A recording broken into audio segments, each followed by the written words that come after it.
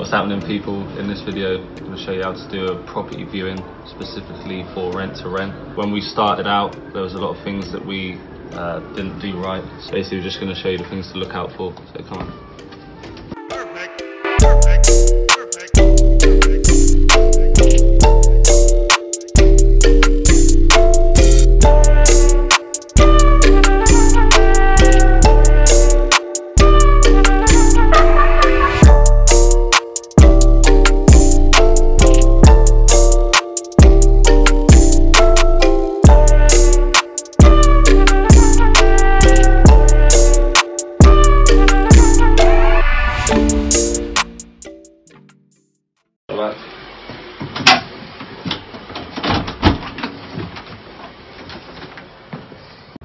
Show you what we now do in viewings or what we're going to do in the future. So learning from the mistakes that we've made in the past. What we're doing is going around this property. This is one of the two HMOs we secured on a rent to rent. If you want to see how we secured these two deals, we documented the whole thing from start to finish. So from calling the agents, going on the viewings, making the offers, getting the contracts, negotiating the contracts, getting the, getting the deals accepted, and then going on to getting the properties ready for tenants.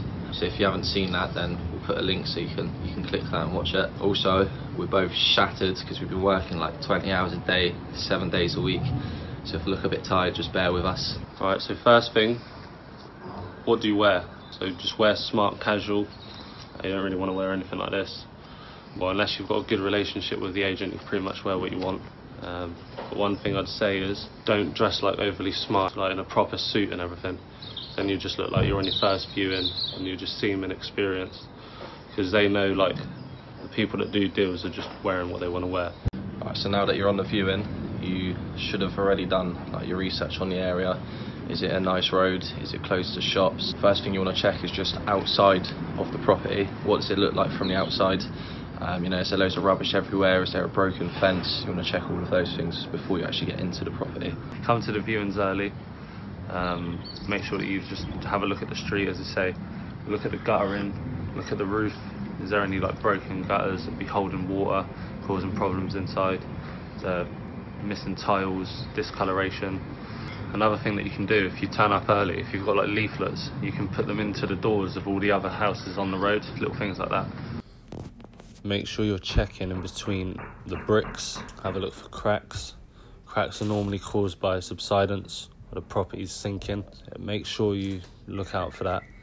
So here's an example of quite a bad crack. Uh, you can see here the property is under quite a bit of stress. So movement happens in quite a lot of ways. Every crack can mean a different thing. For example, if you're upstairs in a terraced house and the crack is getting wider as you look up, that would normally mean the two properties are pulling apart from each other. So yeah, every crack is just means different things. So definitely get a professional survey done see if it can be treated. It's more serious if you're looking to buy the house. If you're looking to just do it on a rent to rent, it's less important because it would be the landlord's responsibility because you'd put that in the contract and you'd have a break clause meaning that you could get out.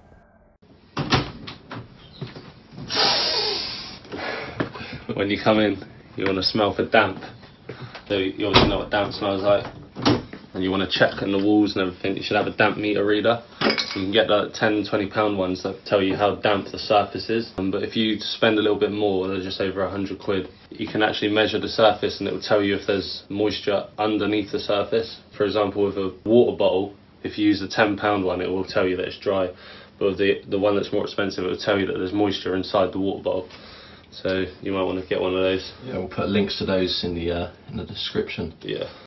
So check out the rooms. This is probably a bad room to uh, start on. It shouldn't really look like this, but um, yeah. So when you come into the room, again you want to check for damp, but also there's there's a lot of things that you want to check.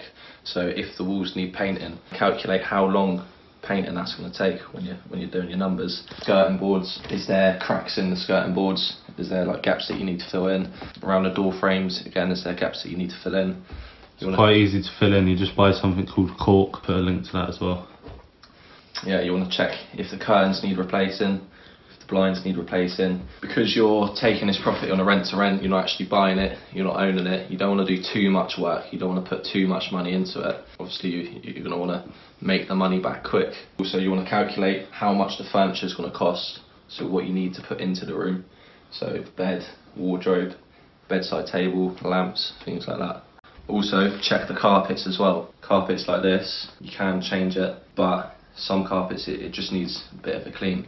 So it depends what your budget is. If you, you can budget for, for new carpet and you can get it all done in, in the, the time that you wanted to, then get it done. If not though, something like this, we'll just hoover it up and then use rug doctor and to get the carpet cleaned. If you can, don't recarpet. Takes too much time, costs some money. Even if it does look quite bad, there's things that you can do to make it better. Say cleaning it, maybe put a rug over a certain patch. Saves time and money. So when you go into all of the room, check all of the things that I just mentioned there. So skirting boards, if it needs painting, what furniture it needs. Check for damp, check for everything. Stay in a room for literally as long as you need. You can be in each room for like at least 10 minutes. Just make sure you check everything. If the rooms have got sinks in there, turn the hot tap on. See how long it takes for the, the water to get hot. It's getting hot already, so you know that the boiler's working. Getting into the bathroom, check the shower goes hot, check the, uh, the water pressure. You don't want to be taking on the deal and then realising that you need to get a whole new shower, uh, especially if you don't budget for it. So when you come into the kitchen, check things like the oven works, check all of the kitchen appliances, washing machines, if there's a dishwasher, see if they turn on.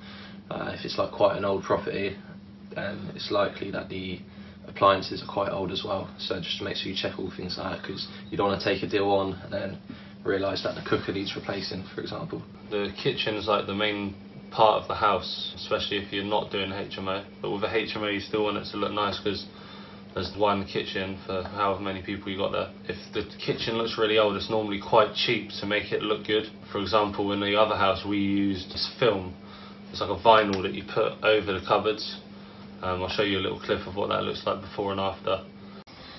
Alright, so especially when you're viewing a HMO, the room sizes, you have to make sure the room sizes are right.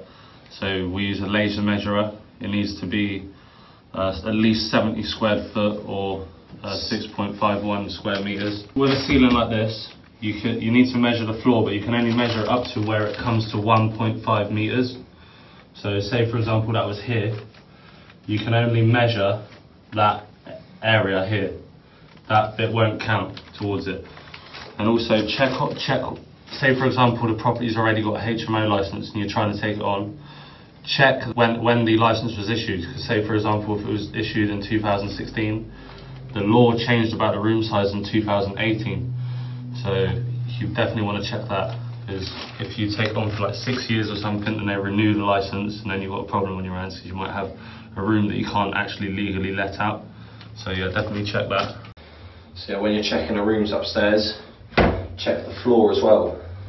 So you see when I walk over some bits, you can hear that it's got creaky floorboards. So not only is that a problem for this room, but it's a problem for the room downstairs as well, because they're just going to complain. And also, when you're walking around, you want to sort of press your feet a bit, see if it's any any parts are soft. That could just mean rotten floorboards. So just listen out for it and feel out for it wherever you go. You want to come and check the electric box, fuse box. See, this one looks quite new, plastic. That tells me the house has already been rewired. Probably doesn't need to be looked at. I'll show you an example of what the old fuse boxes used to look like. Uh, but yeah, if you get one of the old fuse boxes, your house might need rewiring, which can cost thousands. So you definitely want to check this. And check the, the boiler, when, when was the boiler last serviced? Make sure you check that, because boilers can cost a lot as well. As you're walking around, you might want to check the smoke detectors and fire alarms work. Bring your clipboard so that you can take notes. What we do is we bring a frequently asked question sheet with our contact details on there to leave with the agent. It's also got pictures of how we dress the properties as well. So that's always a good thing to, to leave the agent, looks professional. Once you've given that to them, you've got your checklist here underneath. So this is your property viewing sheet. So here you can put the property address um, and write all of the information about the, the viewing. What we used to do in the past was try to remember everything and then take notes after, but then we, after doing loads of viewings each day, we just start getting lost. So when we're putting the offers in, we're starting to forget little things. So check every single bedroom, just check all of it. Another thing that we like to do when we're on a viewing is film or take pictures. We prefer to film because then you remember what it's like in the property, remember everything like like the actual floor plan and everything, and also makes good content for YouTube as well. So, uh, yeah, you want to check all of the work that's required. I think the main thing that I've learned is when doing a viewing, check everything that needs to be done and also budget for that. So you also want to check how long everything's going to take as well. So if you're going to paint every single room, if you're doing it yourself, you want to work out how long it's actually going to take to do it all. If you're paying someone to do it, then obviously put that in your numbers as well. So if you want one of these property viewing sheets, which has got everything you should check, this is specifically for HMOs. These ones. make sure you comment below and then yeah, we'll get one to you.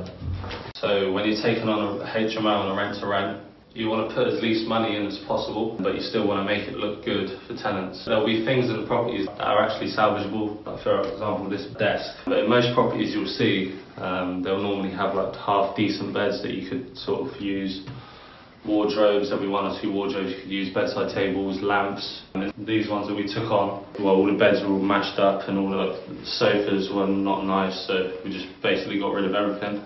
But if there was a property where there was half decent stuff, we'd just keep it obviously. And when you're looking to get stuff as well, like art, you can go on like online auctions where you can get things a lot cheaper, like Spock, uh, or you can go to charity shops, that sort of thing. But if you're running low on time, IKEA is pretty good. It's all cheap and you just get next day delivery. Are the windows double glazed? Uh, over there you can see there's some damp. This could be caused by like a plant growing in guttering, which will hold all the water and then it will eventually seep into the walls. Uh, in this case, I think there's actually a missing bit of brickwork from the outside. But yeah, you always want to double check that because it could get really bad. You could end up getting big leaks. Also check if there's any large trees close by to the property. The roots can actually lift up pavements over time. They can damage drains near your property. They can damage the foundations, and it's not as simple as just cutting it down. That can cause more problems sometimes, and actually cause subsidence. So after all that, if you really like the property, you want to make an offer. Still, you want to check the place at night, check the area, check the people, see if there's any crackheads walking around at stupid o'clock in the morning. it could be like a local brothel like right next door. it could be sirens going on all night. it could be a lot of crime. There could be gangs. So you, you really want to know the area. So this is our biggest takeaways and what we've learned in bullet points. Main thing for me is checking absolutely everything, staying in the property as long as possible when doing a viewing, just so that you don't miss a single thing, and also calculating how long everything will take. So it's not just about how much everything's going to cost, it's about how much time it's going to cost as well. How quick can you get everything done? That's been the biggest thing for me. Yeah, so don't be afraid to really, really take your time. Because if you don't take your time, you won't be able to work out your numbers, which means you won't be able to make an offer. Which means if you're not taking your time, you probably are just wasting everybody else's time. So yeah, the biggest things that I'd say to check is a boiler, fuse box, and check if anything is salvageable. So anything that you can reuse, like beds, anything that looks half decent that you can make look good. And then you can work out your numbers properly, uh, and also work out how long everything's going to take as well. I hope you enjoyed this video. Make sure you subscribe, comment below. If you have any questions, if we know the answer, we'll reply straight away. If not, we'll put you on to the right person who can answer it for you. And also comment below, what do you want to see next? What are you struggling with rent to rent?